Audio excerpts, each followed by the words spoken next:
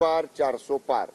हा जो नारा मोदी साहेबांनी दिलेला आहे तो यशस्वी करण्यासाठी जे जे येणार असतील त्या सगळ्यांना बरोबर घेऊन हातात हात घालून तिसऱ्या वेळेला माननीय पंतप्रधान मोदी साहेबांना चारशे प्लसच्या बहुमतानं पंतप्रधान करायसाठी आम्ही सगळेजण तयार आहोत.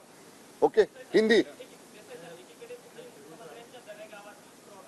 मात्र राज्यातील शेतकऱ्यांना ज्या शेतकऱ्यांना प्रोत्साहनपर अनुदान भेटलं नाही ज्या शेतकऱ्यांना कर्जमाफीचा लाभ झाला नाही अशा शेतकऱ्यांना पन्नास हजार रुपये अद्यापही अनुदान भेटलं नाही. एकीकडे आचारसंहिता तोंडावर आलेली आहे. त्या शेतकऱ्यांना पैसे कधी मिळतील?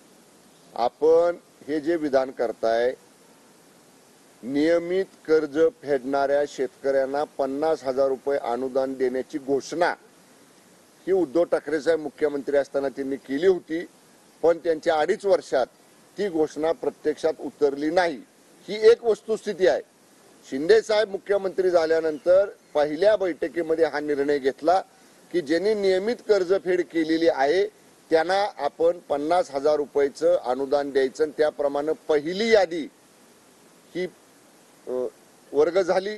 पहिल्या यादीप्रमाणे लोकांना म- पन्नास हजार रुपयाचं अनुदान मिळालं. आपण म्हणताय तसं दुसरी यादी तिसरी यादी या याद्यांचं व्हेरिफिकेशन विभागीय स्तरावरती सुरू आहे.